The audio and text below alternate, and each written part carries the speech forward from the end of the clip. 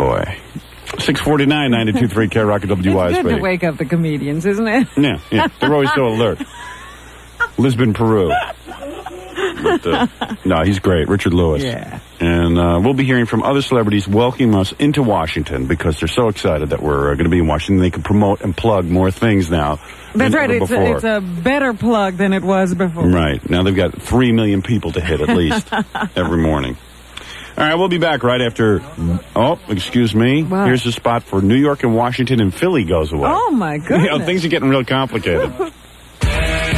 94 WYSP is throwing another Friday Night Live party starting at 6 this Friday live from the Chestnut Cabaret.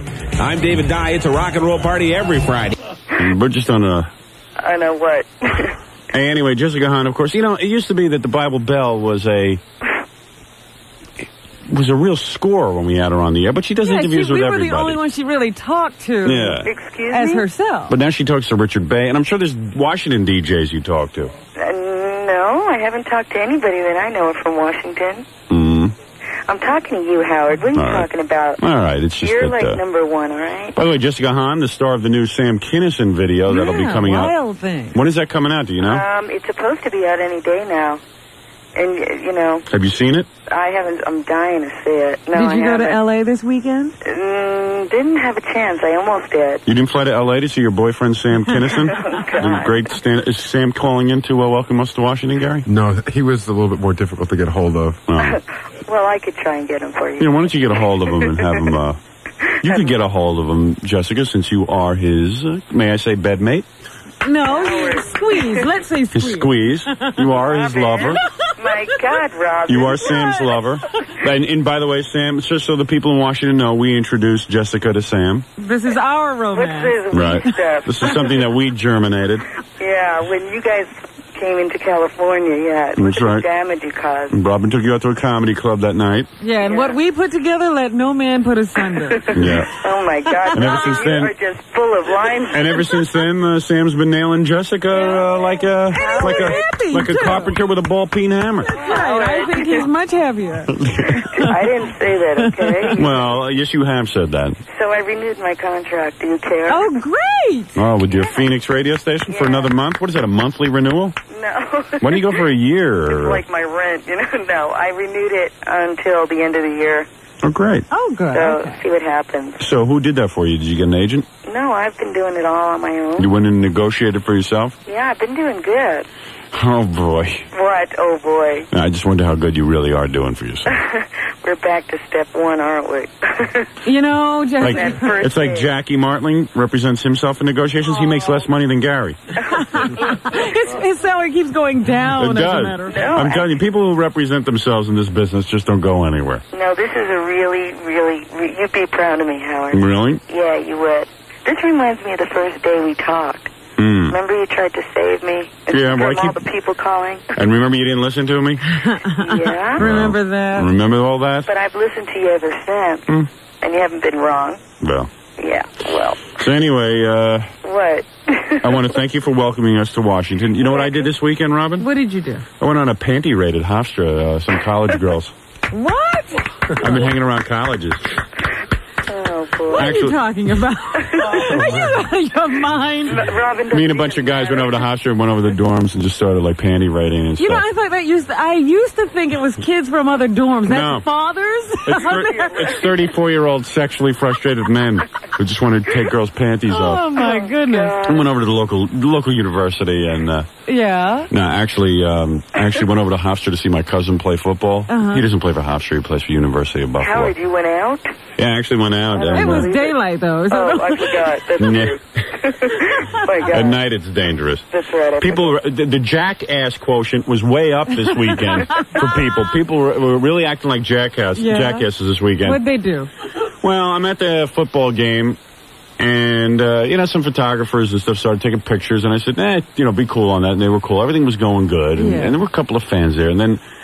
My whole family was there. My parents, my sister, and it was real cool. One of the Hofstra cheerleaders came over and did a personal cheer for me, even though I was sitting on the Buffalo, uh, you know, line and Buffalo stuff. Pride? Yeah. Yeah, but it was a little embarrassing. But okay, hey, it was pretty cool. My my parents were going, hey, he's a pretty big star. The Buffalo uh, cheerleaders are coming over, and uh, Yeah, it was pretty good. I mean, the, the Hofstra cheerleaders are coming over and doing a little cheer just for me. Right. Howard, I'll come to New York and do a cheer for you. No, you don't do, you know, you're a tease. I had you alone in a hotel room. hey, you did nothing. don't- Robin, explain to the people what we're really talking about. I should have given her some wine. You are such a talker. Yeah. You stop A it. little Well. Jessica, you know what he's always said. You would have to attack him, and that would be before he ran out of the room. Yeah, right. I bet you Sam gave you wine. Oh, God in heaven.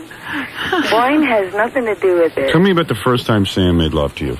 Let's hear it. Let's be honest for once. What if my mother's listening to this? So what? She know you're a big girl. She, I mean, she saw you naked in Playboy. For Oh, God's sakes, jeez. I mean, she sees what you So got. happy. Listen, there's nothing. Listen, your mother makes love, Yeah, okay. huh?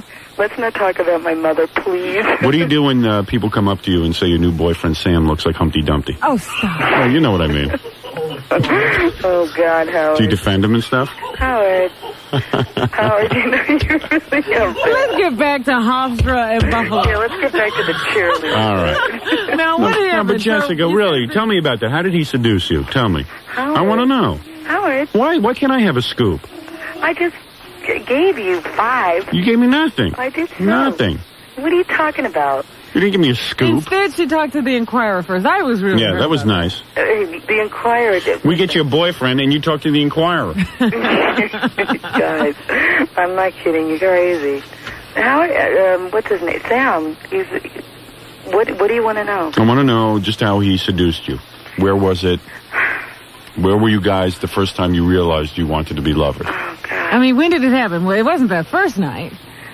Oh Lord. It wasn't the night at the comedy club because you were saying Robin, Sam he looked like a gnome. Wait a minute. He had his eyes on Robin Hmm. the night at the comedy club. Okay. But What happens when he touches those incredible Teflon breasts of yours? oh God. Oh man, I wish I was in the room. Nothing sticks, Howard. All I Nothing know, sticks. nothing sticks. All I know is I, I want. All I know is I want to. uh I wanted her that that day that we were in the hotel room in Los Angeles, me and Jessica alone. I wanted Jessica to just come over and say, "Howard, I must have you now." Just rip off her clothes and attack me.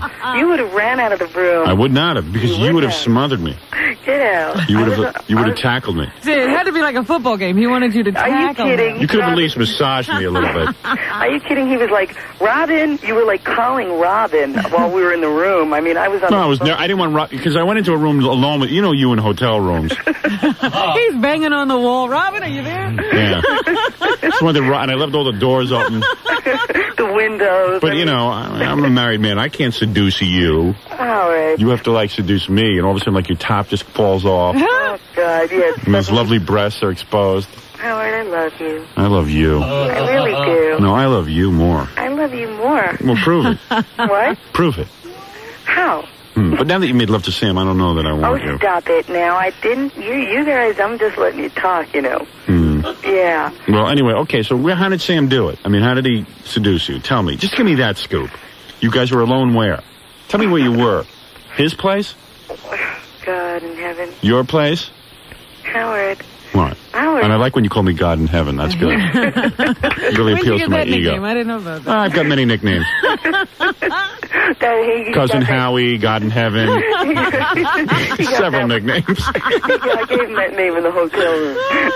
Hmm. no, I, you know, Sam just makes me laugh just like you do, Howard. Mm. Really. Mm. Howard, I love you. Gary, tell all of Washington. Oh, this will be God. good about Jessica's hooter popping out in California. Oh, no. I thought you saw it and I didn't see I thought you never asked, boss. see, see, we had a I had a cut off T-shirt, cut off K Rock T-shirt, and Jessica asked if she could have a T-shirt, except I didn't remember that it was cut off. Right. I real, but I really did. Yeah. So, I, so we were all in my hotel room. You and Robin and Jessica and Jackie and Fred and myself and Scott and Right. lots of people. And um and Jessica put on the T-shirt and she didn't have a bra. And she came walking out of the bathroom and she and she held her arms up, you know, like an airplane, and said, "How does this look?" And then her, one of her beautiful breasts fell out, and they are beautiful, Jessica. It fell out the right hand side, Right. and all the guys fell off the couch. Right. And I missed it because I wasn't sitting where, and you, I've never even seen them in person. Really? Everybody's seen them except me. Even Gary saw your incredible breasts. That's because you were like your head was in business. You were sitting there taking care. I mean, I mean, Gary had ninety thousand shirts. He gives me the one with the cut off arms. I And mean, you- And they were cut off down to the waist. Yeah. right? And of course, Jessica walks out of the bathroom and she doesn't care because I mean, like Jessica didn't know it was cut off. Howard, I didn't know. I hmm. slipped it on because I didn't want to miss what you guys were talking about. We were talking about your incredible breasts. That's pretty much what we were talking about. So anyway, and your dress that didn't fit you, What the one that was like the mini skirt that was three times too oh, short. Oh, Here we go again. It, it mm. was a hundred degrees out. Everybody else was in bikinis. I was in a mini. All I know is you sat down, you were winking at me. I was not. You were. Howard, I just came from the Playboy Mansion. We had a big party, and I had that outfit on for that. When? You, Just know, you're bad. oh, you went to a party with Sam. No, Howard. Remember when you were So in when LA? did when did Sam? What? How did Sam seduce you? I just want to know where were you? Can I know where you were? Where were you? Howard. Were you at his place? Howard. You never tell me anything. We know you. Oh, sure. Yeah, like You- you, and I are. You've admitted in the paper to being lovers. Why can't we talk I about did not admit it. It's like you and I are sitting alone at a kitchen table. Only Washington and New York and Philadelphia. No, I turned that off. Yeah, right. Now, come on, tell me what happened. Sure. Just tell me where you were at least. Can I have that scoop? What? Tell me where you were. Just Howard, please don't. All right, thank you, Jessica. Howard. Thank you. Thank you. All right. Was it on the airplane? Oh my God.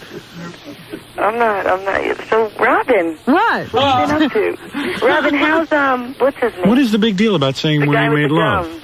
What's his name? Arsenio? yeah. What's wrong with saying where you made love for the first time? Is that wrong?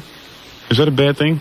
I don't know, Howard. Like, uh, Maybe Jessica has more than one beau and she doesn't want oh, to okay. So she has several boyfriends. Okay, I understand. Yeah, understand. like I have time. Yeah, it's so demanding being the, what is I'm it, the in- prize girl on a radio station. Hey, Howard. Yeah. Stop that. No, I'm a little Hey, whatever happened to that tape you were supposed to send us? She won't send it to us. Oh. I have a really good one. I She's embarrassed by her work. no, I'm Oh. not. I'm getting really good. I love it.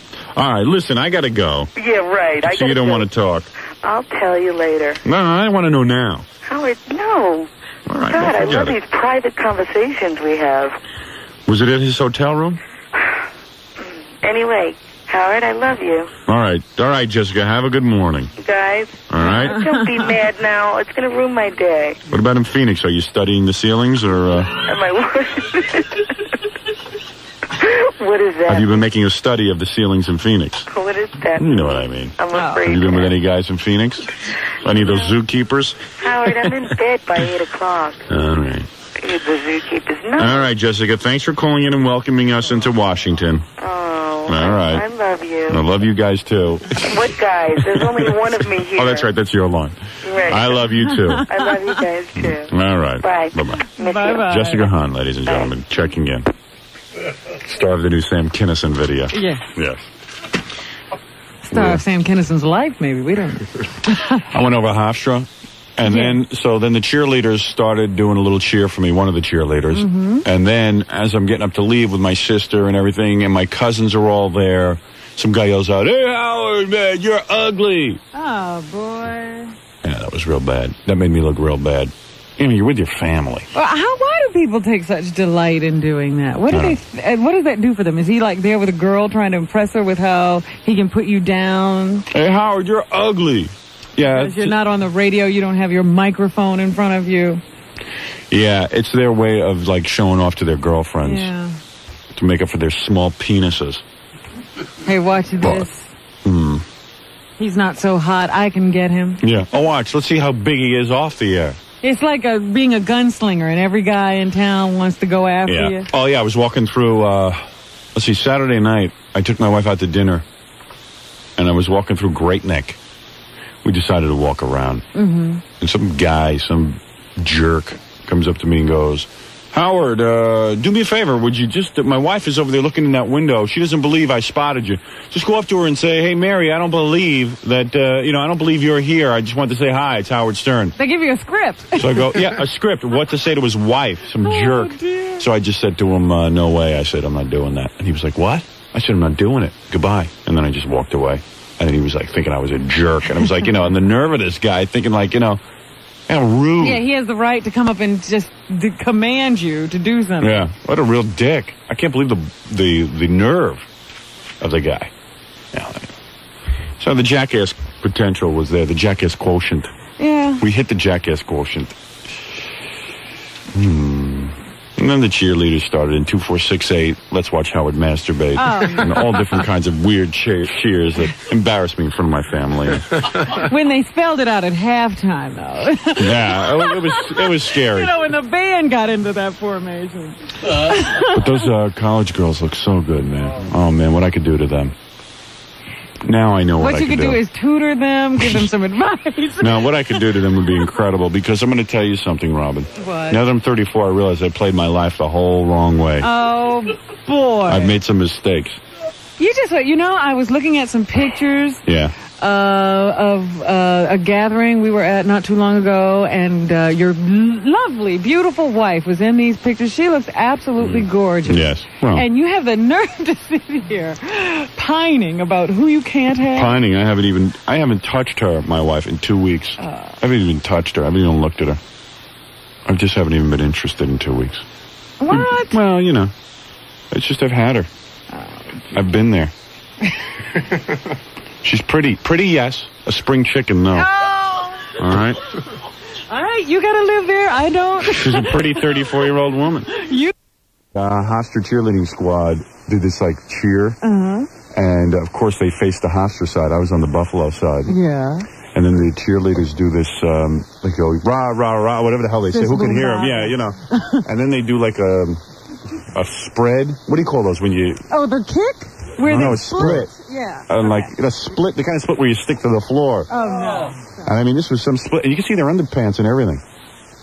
That's um those little panties that go with their little skirts. Oh, let me tell you something, Robin. There was unbelievable. In fact, they did that split the grass dive. Oh. I'm telling you, the kind of split the grass dives. I'm not kidding. Oh man, I couldn't take it. I tell you.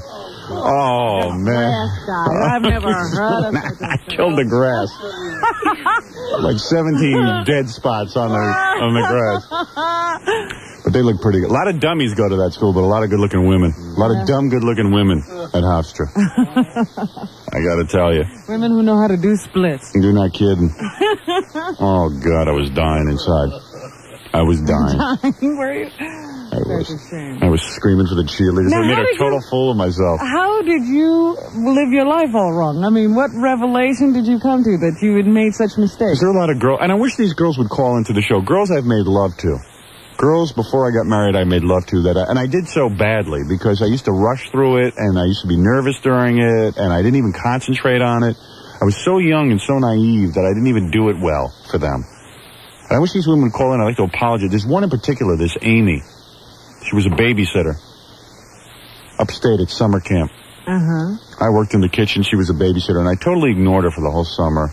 Excuse me, I might have been a counselor or something. Yeah, you might have been upgraded. Yeah. and she was hot for me, and I, I, but lately, I've been, last night, I, You thought about it? I thought about, I had sex with her. She didn't know, but I did. And I was thinking about how firm she was, and how I missed out on everything, and how I just rushed through it and hardly even had her.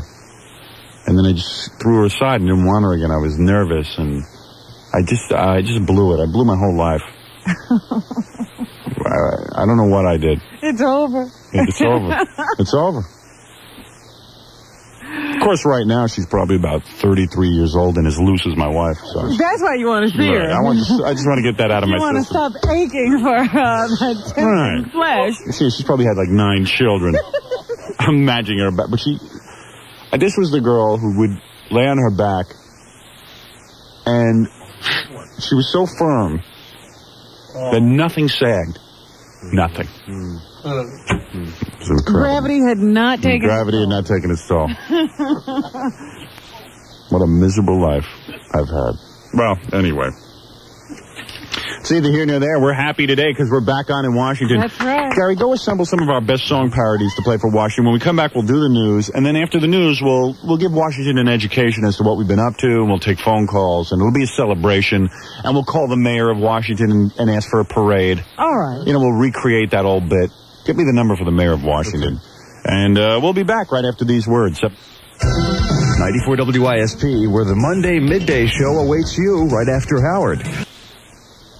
I've seen what they've done to you and your family. I don't want. I don't know that I want to be their son. See, Yeah. see. All right. Although my parents, I don't know, that's no prize. No, I love my parents. Your parents are great. They're What very nice people. about? Your parents aren't. No. They are not great. You're right. Hey, listen, Jackie, don't make faces. Robin told me about them. I think they're not so great. Sounds Sounds weird.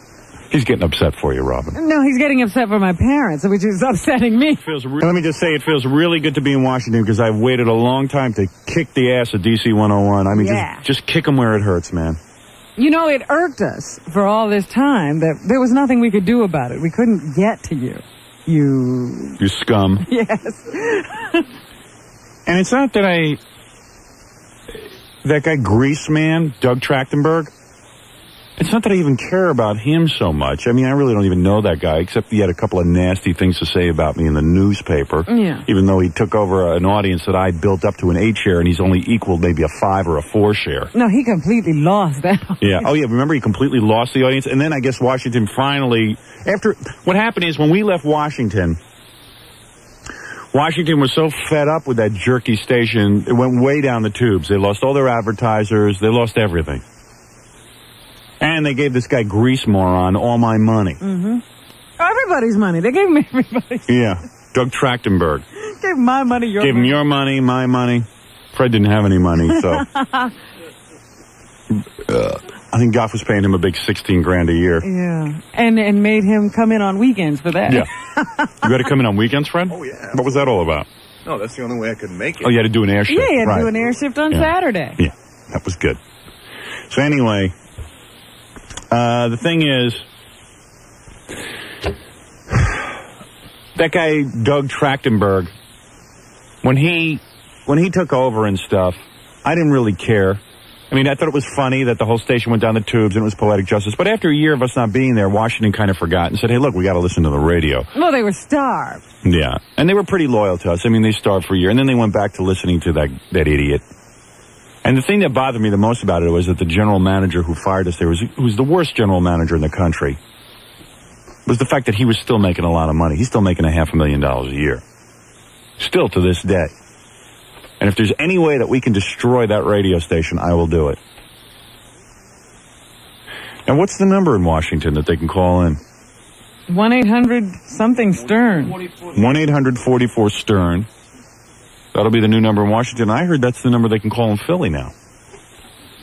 1 800 44 Stern. Really? That's what I heard, but I wish Gary would get me that information. and in New York, it's the same number as always, whatever that is. 955 9292. Right, We've got 212 too many numbers. 955 9292. I wonder if we should start the news to take a phone call from Washington. I'm kind of curious to see what's going on there. Well, let's plunk down another uh, caller there. Gary, you have uh, phone information for us? Exactly what you said is correct. So Philly is 1 800 44 Stern. Washington is 1 800 44 Stern. One number for everyone. And in New York, It's still uh, 955 9292. and you know what? That's one number for everyone. Yeah, and make a note. is that what he said? He said one number for everyone. All right. So anyway. no, Gary, you are stupid. but anyway, the point is, and as bright as you think you are, you're not. Gary thinks he's really intelligent. But you went to Adelphi. You couldn't be that intelligent. Oh, come on. He went there because he didn't want to leave home, Howard. Yeah, Oh. I could have gone. I was accepted to University of Texas. I was accepted to Rochester Institute of Technology. Rochester Institute of Technology. That That is is like the, this, that's for morons. You're out of your mind. That is I know one of the lots of guys who went schools in there. The country. But you know what that is? That's BOCES. That is not. That's both. college BOCES. Any anybody who wants to go to Rochester Institute of Technology could go, bar none. They bar no one. That is a great school. There are people who fly in from Haiti just to go to college there. Rochester Institute of Technology. You're going to tell me? I know guys who are dyslexic. They've been they've been tested retarded, and they get into Rochester Institute of Technology. You know what you need to get in? Pubic hair. That's the big requirement. you go, you have pubic hair? Yes. You're in. Rochester Institute of Technology. Gary's using that as an example. It's a very good oh, school. Oh, that is the worst. You know what you go? You know what you do when you graduate there? What? You go into printing. No, you don't. That is No, you go into printing. That's it. What do you think? What kind of school do you think that That is? happens to be one of the best photography schools in the country. You pick up the New York Times on any, you pick up the New York? Times on any Sunday, and you'll see some of the photography jobs that'll say RIT graduates only. It's one of the best photography schools in the country. No, no, no. no. They print photographs. It's a printing thing. Like you can learn how to be the guy in the dark room who prints out this stuff. Well, it is more technical. It's a technical than it is school. artistic, but it's not. I know people who read books and learn that on their own. My brother-in-law graduated from there. Oh, he did. Yeah. No other school wanted him. What is it, Scott? I have to clarify the phone numbers. All right, go ahead. Oh, ahead. For for now, Washington is one eight hundred forty four Stern. Go ahead. Philadelphia is the same as they had nine two two Rock, I think it was. Yeah. eight Yeah. hundred nine two two Rock until about six weeks until they converted over. Uh, So all of your information was very, very good, Gary. Good. I only. I, that's what they told no, me. No, they had told me that too. All right, now Scott, let's get this straight. In Washington, you call one eight hundred forty four Stern. Correct. In, in New York, you dial nine. No, Fuck. no, no, nine two two. in New York, 955-9292. In Philadelphia, 1-800-922-ROCK. Oh, okay. I'm going to make up a little sheet for Yeah, you. you better make up a sheet because I'm confused. Rochester Institute of Technology. All right, I was accepted to eight different schools, though. You know, and they make it sound like Institute of Technology, like it's that one in Michigan, MIT. Yeah. It's like Michigan Institute. It's like, oh, that's the one in Rochester. Everybody will be confused. yeah. He was accepted to eight different schools. Yes, well, there was a proliferation of colleges. They have to have students. I know a couple of guys who went there. My brother-in-law went there, and now I don't even know what he does. He's like in the computer business, but I'm not sure what he does. Which brother-in-law? Louis. Oh, okay. All right. See, he's a smart guy. Then there's uh, he's got street smarts. All right. He's good at knowing which restaurant to go to In London. in London. Very street smart. He's like a travel log. Oh yeah, he's okay. He's he's a bright kid, but he wasn't he, he wasn't what you'd call a student. All right. Then there's this other guy I know from my high school. This guy Matthew, who became a printer, in a printing press, from that, and then he got a better job and stuff. But he got out of school. He was a printer. You can think it's like print shop. It's glorified print shop. Yeah. R.I.T. The only difference is it's college, so people little they act a little more professionally. Like they don't steal your lunch and stuff. You know what I mean? And they don't throw blocks at your head, print blocks at your head. Hey, Hey, Washington line has a little hum on it. yeah, sure does. Howard Stern, Yeah, is he in? This is it. You're on the air. I'm on the air. Yep. Calling from D.C. I'm an ex-Grease fan. All right. Already? Already, Already. already you've given up. Already. Yeah, because the guy's not funny. How long has it been since you've been here? A year? It's been five years, my friend. Five years. Five. I was in New York over the weekend. five years. I've waited to be back on in Washington, and it feels good. Thanks for the call. What a bore. He has nothing to say. Yeah, he has nothing to say except he likes us. He's he an ex-Grease fan, so Yeah. that's fine. Yeah. We'll take him. Yeah. so am I supposed to do sodomize him because he's an ex-Grease? I mean, he was waiting for me to like, you Yeah. Praise him. Yeah. All right, you're on the air. Hey Howard, how you doing? All right, man. It's been a long time. Calling from Washington. Great to speak to you. Okay, I was wondering what you thought of a city that would keep re-electing the same mayor. We still have the same mayor from the time you left, and he's even gotten worse from the time you've been here. Well, because He uh, wouldn't even give you a parade. we're the only city left with a white mayor. Our black people haven't gotten total control of the city yet. but uh, no, what's going on is that Washington is mostly black, and they're loyal to their man. It's not, you know, let's face it, right? Well, couldn't they find could another find a good- black man? No, they've been searching. They can't oh, find one. Oh, I see. Okay. No, but it's just they're very loyal to their, you know, to their black man, to their own black guy. It's sort of like here with, um, who's the guy who just went to jail, the Italian guy in, in the Bronx? Oh, uh, Mario Biaggi. Isn't he going to jail? Yeah. Yeah, I mean, you know, his eye's crooked, but he's Italian, and everyone in the Bronx was Italian, so they kept electing him. Hey, It's well, just that's a uh, it's good ethnic pride. It's that's all. Okay, well, uh, the grease has taken away your audience here. It's up to you to take it back. Yeah, yeah. I'm, I'm having nightmares about it. Yeah, I bet All you right. are. Thank you, man. Okay, goodbye. Bye. The grease. What is that all about? The grease. the grease. Doug Trachtenberg. I predict that the grease, Grease's life will fall apart within six months. When people run through Washington and ask him how's Howard every five minutes. Yeah.